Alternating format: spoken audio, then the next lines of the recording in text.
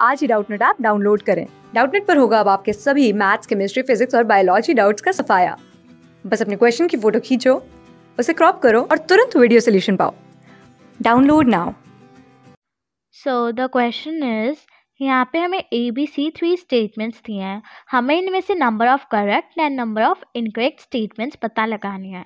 तो A bacteria are use in preparing idli, dosa and curdling of milk तो ये हमारी करेक्ट स्टेटमेंट है, क्योंकि जो बैक्टीरिया होता है, वो एक प्रोसेस करता है, जो होता है हमारा फर्मेंटेशन का प्रोसेस और जैसे हम दूध से दही बनाते हैं यूजिंग इनोक्यूलम जो हम थोड़ा सा दही उसमें पहले से डालते हैं तो उस प्रोसेस को भी हम फर्मेंटेशन के थ्रू ही बनता है।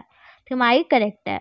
Now B statement yeast is use in making only distilled alcoholic beverages तो ये स्टेटमेंट हमारी इनकरेक्ट है। क्योंकि ईस्ट हमारा खाली डिस्टिल्ड नहीं बल्कि अल्कोहलिक बेवरेजेस जो होती हैं उन्हें बनाने में भी हेल्प करता है। एग्ज़ाम्पल हम इसका ले सकते हैं वाइन वो हमारी अल्कोहलिक बेवरेज होती है।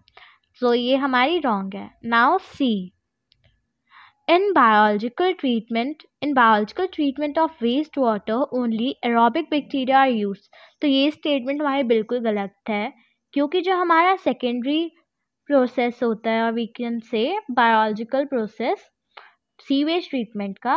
उसमें हमारे एरोबिक और साथ ही साथ एनारोबिक माइक्रोब्स भी यूज़ होते हैं। Aerobic and anaerobic bacteria are use जो हमारे एरोबिक बैक्टीरिया होते हैं, वो ऑक्सीजन यूज़ करता है एनारोबिक विदाउट ऑक्सीजन तो अब अगर हम देखेंगे तो हमारी जो फ़र्स्ट स्टेटमेंट है, खाली वो करेक्ट है और बाकी दोनों इनकरेक्ट है।